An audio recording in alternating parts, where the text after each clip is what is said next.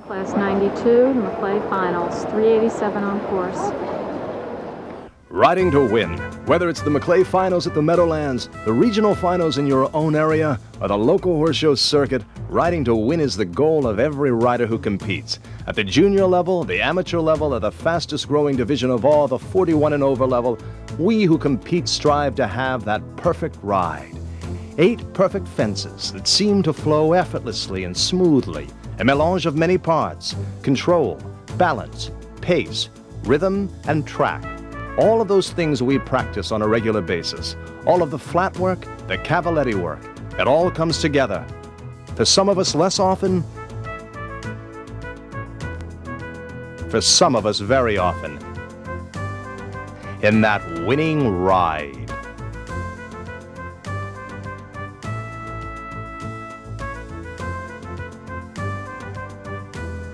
Riding to Win is brought to you with the generous support of Practical Horseman and Ulster International. Practical Horseman, the most widely circulated and trusted English riding magazine in the United States today, offering you access to trainers and other experts in the equine world. And Ulster International, who take pride in introducing their new Action Boot, the most innovative front jumping boot in the competitive market today, offering superior support and protection to the equine athlete. We join Karen Healey, nationally known trainer and teacher at the Southern California Riding Club. Karen will be talking to us about her teaching methods, and in this video, we will see portions of various lessons Karen has given while preparing her students for the Desert Circuit horse shows. This is a tremendous sport that can be enjoyed by people of all ages at all levels. This is a physical endeavor. In order to make it easier on the horse, and to have the proper use of your aids and the proper control of your body, you have to have a certain level of physical strength. Level of fitness, I would say, probably depends upon the level of your goals and the level of your expectation. My system, I believe, um, is based on the idea that anybody with the amount of with the proper dedication, um, a certain level of physical fitness, uh, and a, an interest and desire can learn to ride competently. And it's based on a solid foundation of basics, um, understanding the use of the aids, the legs, the seat, the hands, the voice, being able to control your horse at all times, being able to regulate his speed, being able to regulate his rhythm, controlling his balance, controlling his direction. The jump is basically just another stride that you, when you maintain an even rhythm, and a balanced, light balanced horse, and I mean that laterally as well as longitudinally, um, that the horse is straight between your legs and your hands, and you maintain a specific track to the jumps, you will find that there's no such thing as a bad distance. And then you'll find that you follow these, the, the, these basic building blocks of, of pace, balance, and track if you, you stay very consistent, very relaxed, and very attuned to your, to your horse, you'll find that your horse will start to show you what to do with the jump. Instead of you having, it's not like searching on the ground for an Easter egg, you know, to find the distance. You, you let the horse show you what to do. What I'm going to do for the purpose of this video is I'm going to give you a demonstration of a flat lesson. Um, this is not going to be in real time. We're going to we're going to condense things and go a little bit faster than what you normally would do. And I'm going to probably ask a lot more things of a horse than I would normally ask in a, in a flat lesson. If the purpose of the flat is to prepare the horse to jump, is to supple him, bend him, make him elastic, make him like an accordion, make his be, you feel that he's straight and soft and relaxed to the legs and the hands. And then um, what I'm going to show is I'm going to show different exercises, the different things that I do to attain the degree of suppleness and elasticity that I want to have over the jumps. We're going to show a little haunches in, a little shoulder in, transitions, broken lines, counter canters. Again, we're doing way more things in this little condensed version that you would ask than you would ask your horse to do in one warm up. I'm going to show you most of the things that you can possibly do. So in each warm up, you would take two or three or four of these different exercises and use them to prepare your horse to jump. Make a transition to a walk. Transitions are the best way to test your horse's brakes and trot. In the transitions, the horse should drop backwards onto his hindquarters. He should stay relaxed in his poll and his jaw. Before she starts the transition, she steps into her heel, sinks into the saddle, shoulders come back to the vertical, halt. Square and flexed, not rooting, not pulling. Trot forward. Just try, just thinking, trot. The amount of leg, the degree of leg depends basically on the temperament of the horse. Now make a circle here. On the circle, we're feeling that the horse is tracking. He's not overbent. He's balanced on the ins on the outside rein. Make another circle. He's bent a little more around the inside leg. He's bent in the degree of the turn. Go straight. Moving him back out onto the rail a little more. And make a circle at a sitting trot. Using the weight in your heel to draw your seat down. Your shoulders are on the vertical. We've got a direct line from elbow through hip to heel. Watching that your elbows stay in front of your body. Transition to a walk.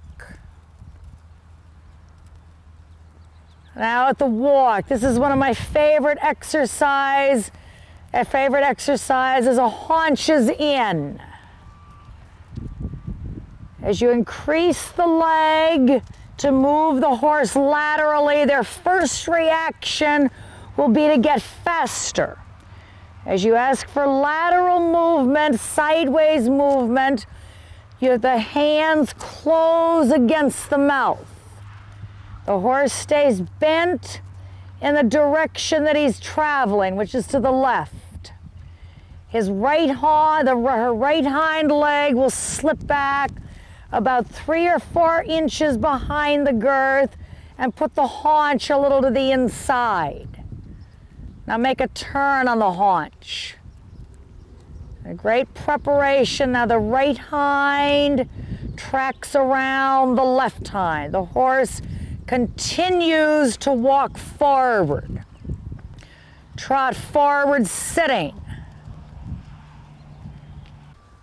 And halt. Square and immobile. Make a turn on the forehand. If he roots, a little nip. Now your left leg shifts back a couple of inches and pushes the haunch. He shouldn't back up. He shouldn't walk forward. Now walk forward out of it. Sitting trot. Come down the center line of the ring on a broken line. This tests the straightness of the horse.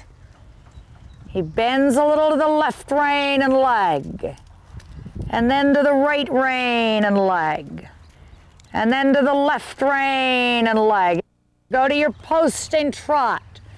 We're making a horse through the broken line exercise. You make a horse straight through bending. Now show a little extension to the trot. Now you feel that the stride doesn't get faster, but it gets longer. There, build it up a little bit. Each step asking for just a little more. Make a circle at a collected sitting trot. Now drop deeper into your saddle. Draw your shoulder back and draw your horse back to you. And come down the center line, down this other center line, making a little half pass to the left. And then we'll do it again and we'll make a half pass going to the right. Now collect the trot. Bend him a little right, collect him. He shouldn't canter. This horse is a little stiff to the left. So when you put your left leg on him, he'll sometimes want to hop up and down a little bit. Very good. After lateral work, always go forward. Don't do lateral work for hours and hours and hours and hours. Do lateral work, go forward. Collect the trot sitting.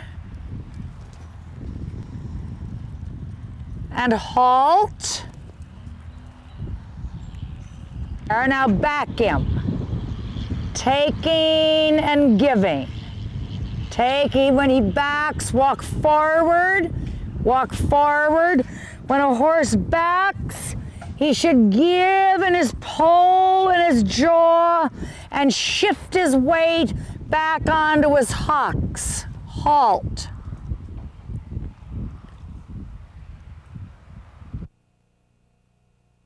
I always like to introduce the shoulder in coming off a circle because you've already got the horse in the proper position. Through the circle, he's bent to the right rein and right leg. Now on the straightaway, he maintains that bend. You feel him on three tracks. Right front, right hind, left front, left hind. Finish it with a circle. You'll make a circle to the left, preparing him for a little shoulder in. He comes forward a little bit and are bent around your left rein and leg. Staying balanced on the right. Now he's a little stiffer to the left. We'll see how good she gets it here. And then left front, left hind, right front, right hind. Very good. Make a half turn in reverse. And we're going to show haunches in. Haunches in is my favorite exercise because this is how a horse should come through a corner to a jump. With his weight balanced back on his hindquarters. Moving from the outside leg. Bent a little bit to the inside rein. And all lateral work. The seat is a little deeper the shoulder is on the vertical, a little haunches in. Very good. Very good. And at the end of the side, make a half turn. And with a half pass, come back to the track. There. There, keeping the rhythm to the trot as he moves diagonally across. He maintains his rhythm. It's like as you ask a horse to canter, you put them almost in a little haunches in. Bent a little to the inside rein. Your right leg will push the haunch slightly to the inside and canter. And canter. Now you want to see at the canter. A very soft, again, soft, light, balanced horse. She's got to be very careful to stay very deep with her seat. And as she stays deep in her seat, a little hollow in her lower back. So her shoulders are back over her hips and her arms are following the rhythmic motion of the stride. Make a circle. Again, on the circle, he's tracking perfectly straight. Left hind, left front. Right hind, right front. And as the arms are soft, the hand maintains a light, steady connection with the mouth. Transition to a walk. Now at the walk, make a walking turn on the forehand. This is not an exercise that they really call for much in the show ring, but you bring the haunch in, moving it around the shoulder, and the horse's front end keeps stepping. There, it's just educating them to legs. Canter.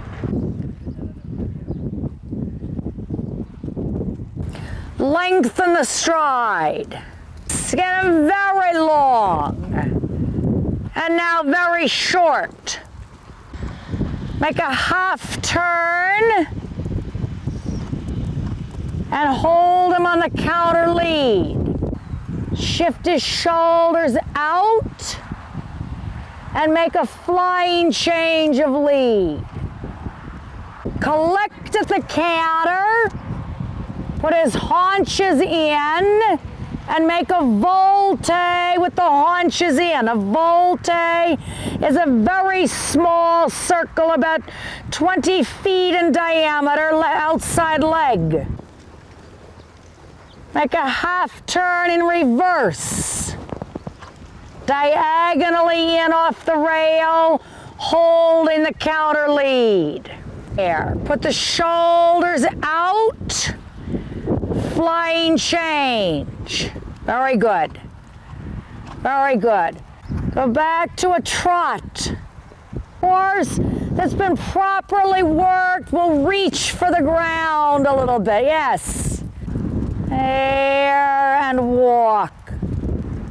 I use cavalettis a lot in my flat work and I use them also as introductions to jumps and even as part of the exercise in the jumps because just about anything that a horse will do, a horse that wants to drift left or drift right, or a horse that wants to pull or root, or you have difficulty shortening, just about anything a horse will do at a jump, he will probably do at a cavaletti. But you can do cavalettis, you can do rails on the ground, you can do them every single day that you ride. You can do them and you can practice them over and over and over again.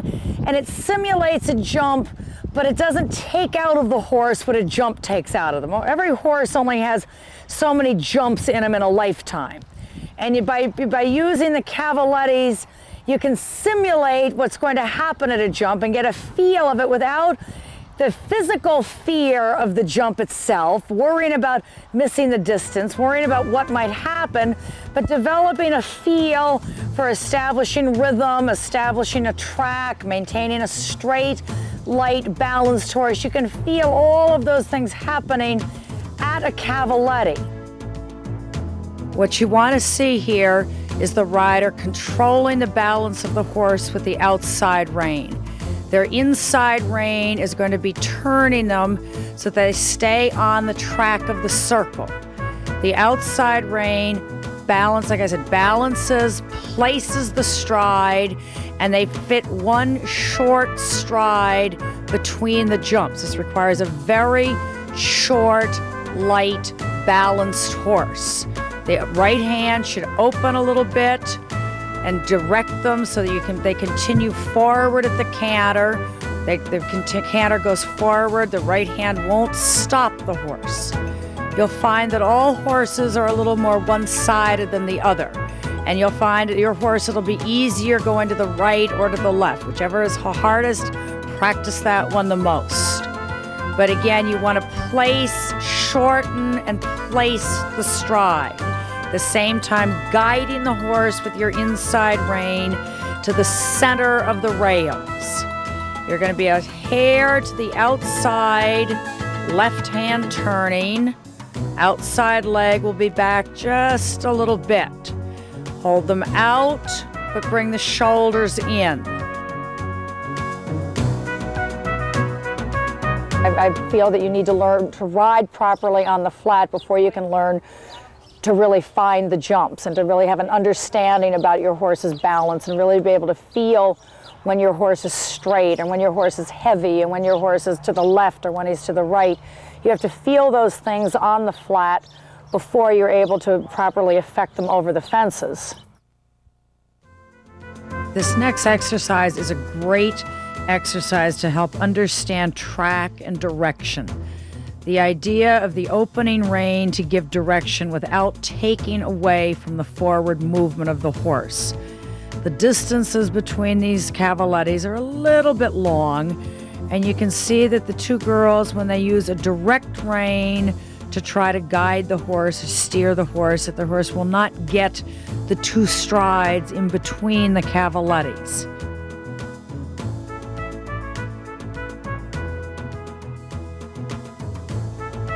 When they do it properly with the proper use of opening reins, the horse's stride continues forward.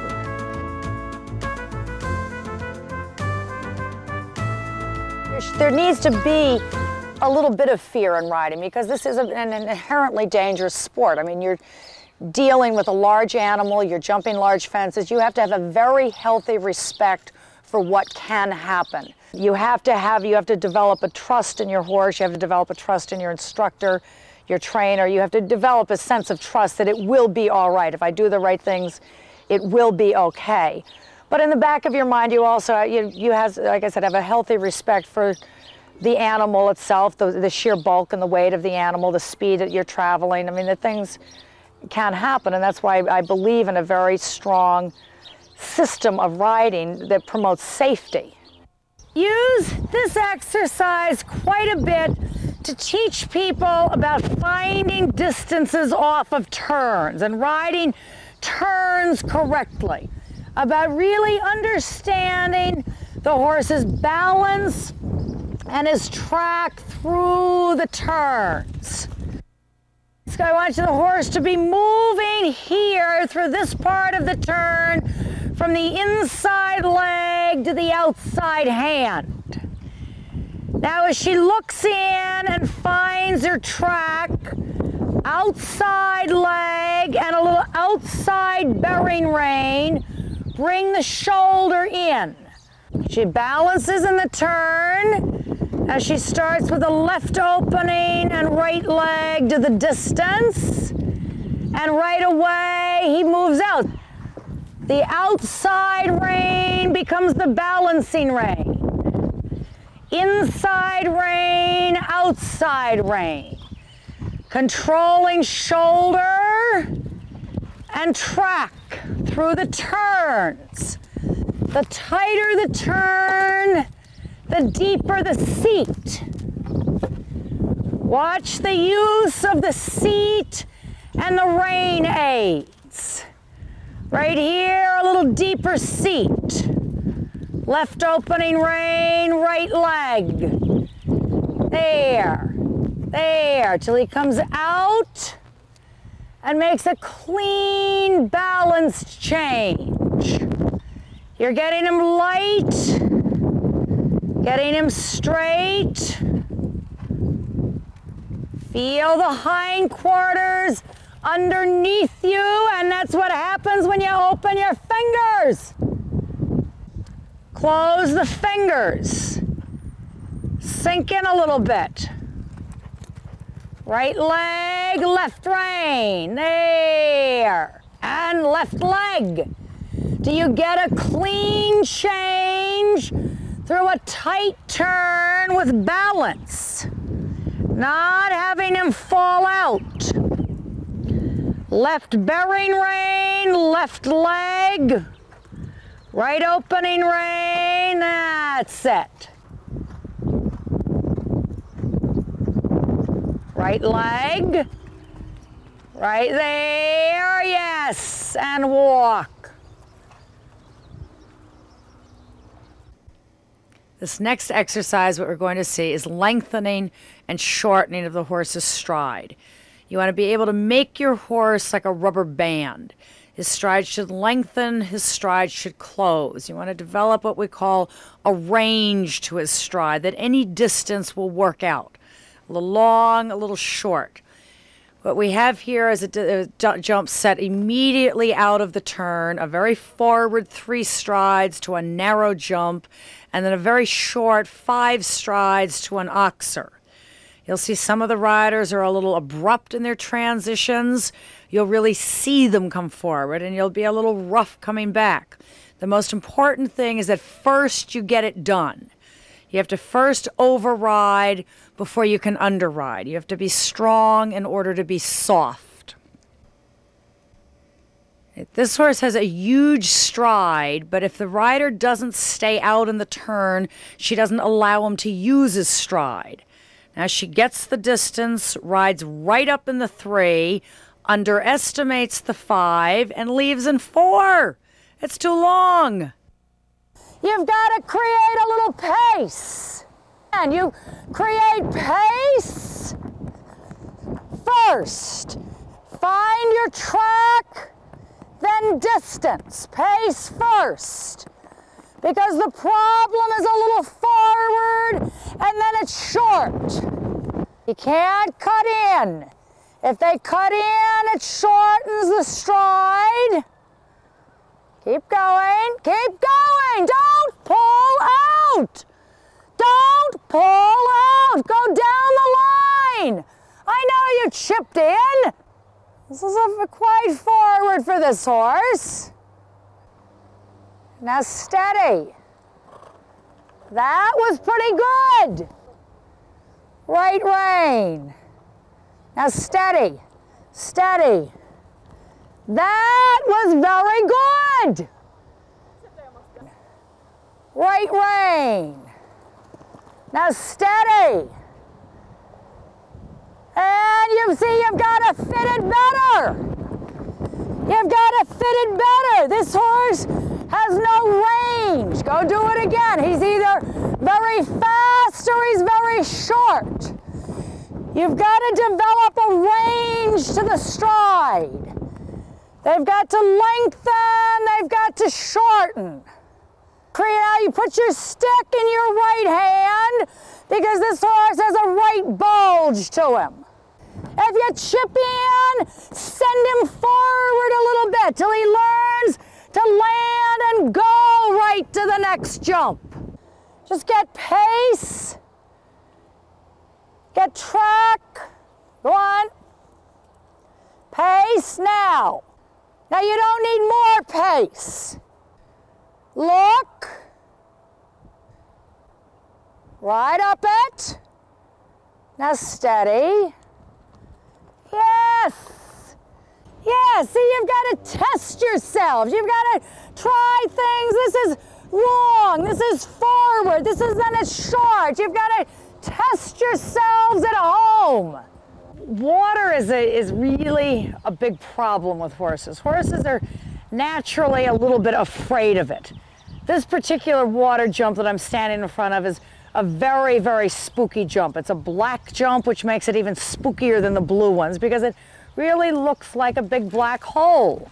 It requires a little bit of a strong ride.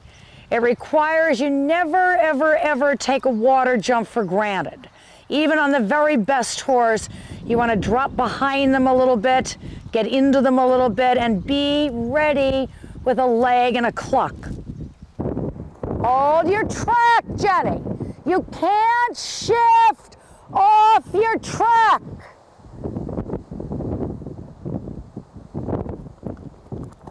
All right, all right. Pat him, pat him, pat him. Let him settle. When they do it, then relax. Again, horses are herd animals. Giving a horse a lead makes them a little braver if they're a little afraid of something. Don't take it for granted. Leg. There, pat him. Never take a water or a natural obstacle for granted. Now it's a little different. Leg him, leg him, pull on, come on. Leg him, pull on that right rein. Pull on it. Lay back a little bit. Put your weight now, you drop behind him. Drop behind him. There, Just let him canter it. There you go. We're now going to ride six strides on a bending line to the Liverpool with two strides on a little angle to a wall. So we have a two stride in and out with the Liverpool as the in of the in and out. The rider has several problems here. First is maintaining the, the stride on the bend. This goes back to the exercise that we did over the Cavalettis on the circle of being able to accurately regulate the length of the stride and keep track of where the horse's stride is on a bending line rather than just a straight line. The in of the in and out is the Liverpool, which is spooky, and the out is on a little bit of an angle. So they've got to be ready to get into them a little bit over the Liverpool, open the left rein, guide them right out over the wall. See the eyes working? There. The rider must establish a pace, find their balance, gallop up the six and whoa in the two. This next horse is a little green, so she's got to get right down into him, ride him right across it. It doesn't matter if it's a little rough to start, she's got to get it done. You'll get it. There, you got it, yes. There, easy. There it is. Yes, Jenny, very good. After all the hours of practice at home, Karen's students are finally ready to test themselves, to put the pieces together, so to speak. This year, Karen Healey and her students are headed to Indio, California, to the Desert Circuit. With 1,400 horses and nine rings, this is one of the largest horse shows in the country, offering a challenge to all riders. Karen will be taking students of all ages and levels. Part of Karen's philosophy is that you show while you're continuing to learn. Showing provides another dimension to riding which is quite different from the lesson at home. At the show, you enter the ring and you have one shot at it. You cannot stop to think about problems or mistakes. Showing demonstrates best the success of Karen's philosophy. You must do the steps. You have to have done your homework. You must use the concepts you've practiced at home. Control. Okay, ride up to the oxer, press into the second oxer, and then whoa a little at the verdict. Balance. And balance back. They're going to move away. Now this is Pace. I don't want you going blazing Okay, I want you just to canter around the course. Rhythm. Stay on the one stride. And track. You want to find the track, land, and press right up. Waking up early the day of the show and giving a 6 a.m. lesson is one of Karen Healey's trademarks. Covered with coolers, the horses make their way to the ring in the early morning dawn. This day at Indio, morning showers gave way to an afternoon of glorious sunshine, clear, clean, and awash with the myriad colors of the California desert. The riders begin by warming up on the flat, but move more quickly to jumping than they would at home. The horses will be working hard, so Karen wants to warm up quickly and, most importantly, practice a few things she anticipates will face the riders in the show ring. Then it's back to the barn for the horses and time for the riders to walk the course. All right, this course is the equitation finals of the Desert Circuit, the championship course. This is the culmination of six weeks of preparation and testing. We're going to test the riders and really see where they are, wh- what they've accomplished, what they've attained. This is really, this course has many options, it has many problems. They have distance problems, we have directional problems. There are some spooky jumps, there are long gallops, there are turns. When you walk a course, I like to separate the course into parts. I like to take each jump or each group of jumps by itself, not try to think of the whole thing all at one time. Jump number one, then maybe a breather, and then two to three to four will be related. Then you have a breather. Five to six to seven will be related. Then you have a breather. Then you have a combination of 8A, B, and C. Then we have a breather. Then we have jumps 9 and 10, which involves direction. Then we have a spooky jump with a, with, with, a blind turn, which is a hidden jump, which creates a problem. And then finish up again over a directional problem. You have to decide when you're walking what best suits your horse and your rider's experience. Can they make the inside turn and still find the best distance? Can they leave the stride out and do it beautifully and effortlessly and comfortably? It doesn't do any good to leave a stride out and have your horse leave off of three legs like we saw the one do in the, the lengthening and shortening exercise. They left a stride out, but it was a dangerous jump. They've got to smoothly lengthen, they've got to smoothly shorten. You've got to decide whether you want to do a four or whether you do a five, whether you do a three, whether you do a four. Does your horse drift right or does he drift left? The courses today are very technical, but they've also, we've gotten rid of the simple scope tests where you had to have the biggest, longest strided horse in the world in order to be able to win a finals like this. The course is now, you, like I said, you can adjust the ride to suit your horse and do what best suits you. This line that we're walking right now is an option. It can be ridden in either a direct forward four or a bending five. You're going to see my two riders do this both ways. Both ways are going to be beautifully ridden, but one is a little bit of a greener rider on a horse that jumps way to the right, and the other is on a horse that jumps to the left with a little bit more experience. We go on from here and then we, we, the next jump is what we talk about is the is the problem of a hidden jump or a blind turn. They have to go around the Liverpool before they'll see this narrow jump on jump number 11, this narrow jump on the end of the ring.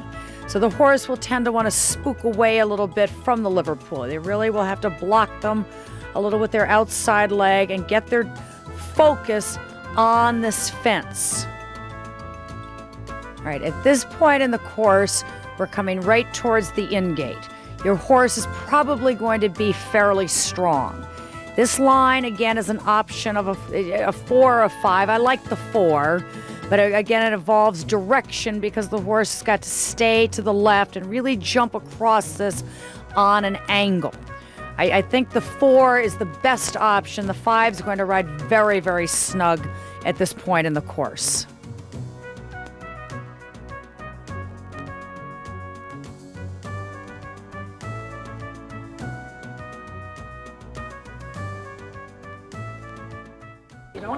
That for granted. You really ride the track.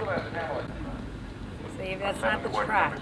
It's not the track for the 9 to 10. You're going to stay out, jump across it. I get five there. You're going to do a steady five. Free joining us now. This is Mary Jane Linkelbach from Laguna Beach. This girl's a little bit of a greener rider. This is the first year she's doing these equitation courses. This line is very specific about direction.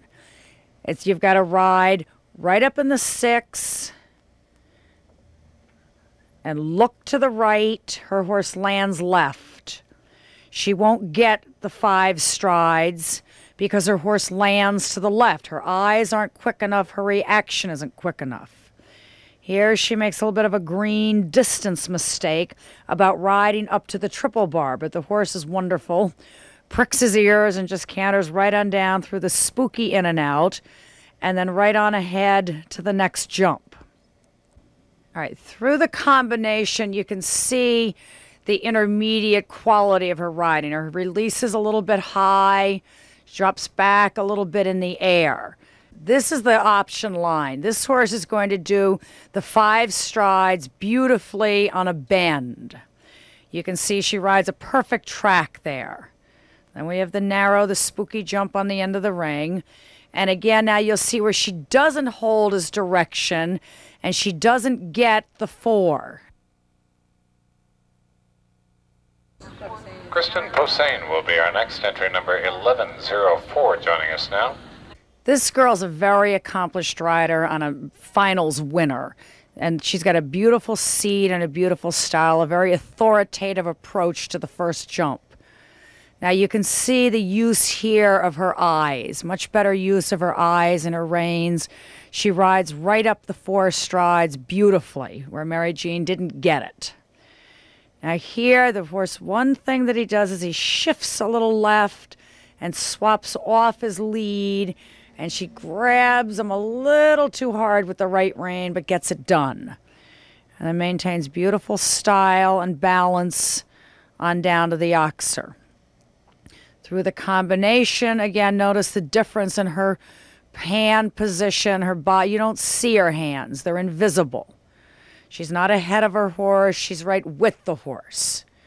Her horse will get the four. She finds the track, you can see the angle, right up it in the four strides easily, and a beautiful jump. And it balances, blocks his left side, gets his eye looking right, relaxes to the distance, and she comes around the turn, lines it up, and she will get the four strides right on the angle. This is a beautiful ride. Kristen Posehn scores an 86, and that is our winning ride. But where did you land? 86. Left. 86. What did I say? What? For Kristen Posehn. No, I said jump the left side of the first jump coming in to the center to the right. I jumped that one left. I know you jumped it left. So when you jumped it left, that is a direct forward five strides. If you don't understand, Major, because you have a, you know, you haven't done this as much as these other kids have, and they understand. When I say direct, you, you don't understand, you've got to tell me I don't understand. Mm-hmm. You've got to tell me I don't understand or I'm not sure. So you really understand the track. These are very technical courses. It's not just about jump number one, two, three, and how many strides it is. It's about the track. You've got to understand the track. You've got to understand positioning of the horse's body to get you the distance. Very good. Very good. It'll all come. Steps and stages. I love to show. To me, horse showing is, is like a test. I mean, it's a test to see how good you are, what do you know, what do you have to work on. A lot of us are involved with qualifying for indoor horse shows. To me, there's the horse shows that you go to because you need to pick up a medal or a Maclay, or you need to, you know, you need to accumulate some points. And they're the horse shows that are true competitions. And those are the ones that really are a gauge as to where you are in your riding, as and how many questions can you answer. And to me, the horse shows are just that. It's a, it's a test. What do I know? What do I have to learn? How much more does that person know than I know? It's not even necessarily whether you win or lose. Everybody wants to win. I mean, trust me, I want to win as much as anybody does. I mean, the ultimate goal of showing is to win. But the week to week horse shows throughout the year are barometers of where you are in your progress. Anytime you enter into any kind of a competition, you're putting yourself on the line in front of, you know, an audience. I mean, are you going to be good enough? Are you going to measure up? And there's a tremendous amount of fear that goes into that as you're standing at the end gate. Am I going to get it done? Am I going to, am I going to get that line done? Am I going to see that distance? You have to be able to control that, regulate it. To win big, you have to be able to, you have to be ready to risk big.